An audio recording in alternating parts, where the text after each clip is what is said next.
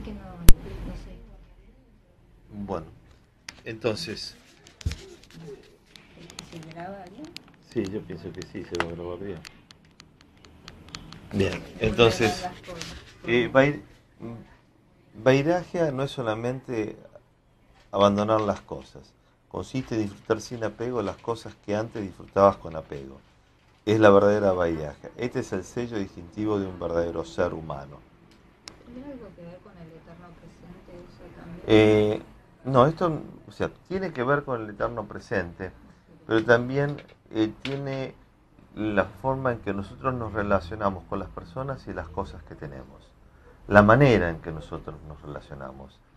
Eh, nosotros a veces tenemos la necesidad para poder disfrutar de poseer las cosas y no es necesaria poseerlas. Eh, yo cuando disfruto de un baño, pero no poseo el, el mar.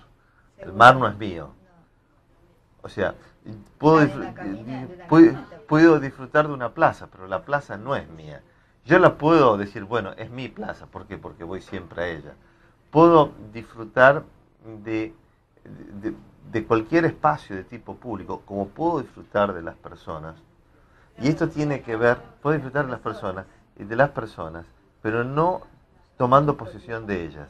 Y esto fue mm, permanente charla eh, sobre este tema con Matashi y con Yana. Entonces, Matashi, me acuerdo una vez íbamos en, el auto y David dice, yo me siento propiedad pública. Y, y digo, me dice, igual que una plaza. Y Yana decía, dice, pero Matashi, usted es mía, usted no puede ser propiedad pública. Dice, no, no, no, niña querida, yo le pertenezco a todos y no le pertenezco a nadie. Y digo, sí, Yana. Dice, Matashi es una mujer pública. Entonces, en, en- en la- en lo acolorado de la discusión, entonces Matashi me dice, David, ¿usted sabe que lo que está diciendo? Que yo soy una mujer pública. Dice, disculpe Matashi, dice, pero dígame una cosa, ¿por qué un hombre público no se le tiene el mismo concepto que una mujer pública? Entonces, otra discusión de discusión. Pero eso que Matashi nos decía, de que ella se sentía, se sentía eh, creo que está en el libro de Matashi, que ella sentía como que es parte, es propiedad de todos y no es propiedad de nadie, que del todo el mundo le pertenece y no, no le pertenece nada a ella. Y yo creo que esa es una manera interesante de disfrutar de la vida, disfrutar de las cosas y de la compañía. Ahora, desde el punto de vista, digamos, de Matashi o desde el punto de vista de una persona que está con alguien que piensa como Matashi.